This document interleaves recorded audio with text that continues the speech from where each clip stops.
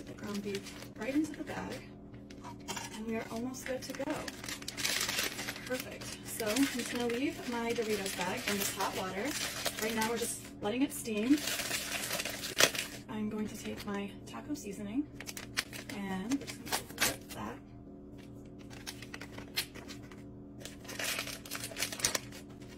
pour it right into the bag. Nothing like adding a little extra seasoning into our Dorito bag. All right, we are almost good to go. Just gonna bounce that around a little bit.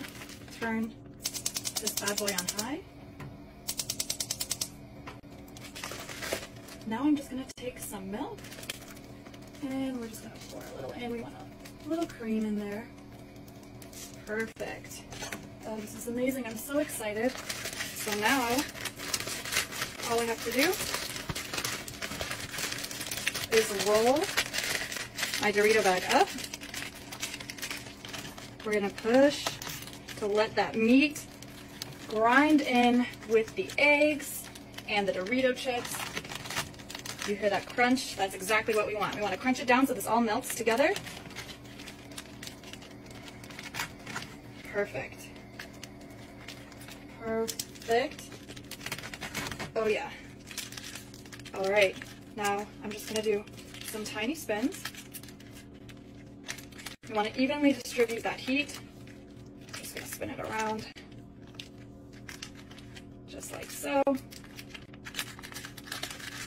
And this is gonna happen super fast because as we know, eggs cook really fast. The tortilla is going to merge with the egg and the beef also cooks really quickly once it's in boiling water. So this is almost ready. The last step I'm gonna do is I am going to take my glass plate and I'm going to put it over the pan. So some people like to use lids. I like this because it encapsulates the heat much better. And it suction cups to the top of the bag, so that way when you spin it, it's actually much e easier to distribute the heat. So this is exactly what we want.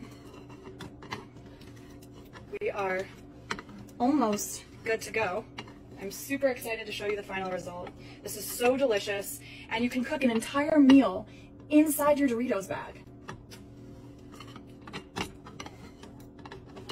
If you've tried this before, let me know in the comments below if you know what the name of this dish is. It's a really popular dish in a city. I'm so curious if you know which city I'm talking about. Uh, if you have not tried this, you have got to go to your kitchen right now and give this a try because it honestly is so delicious. All right.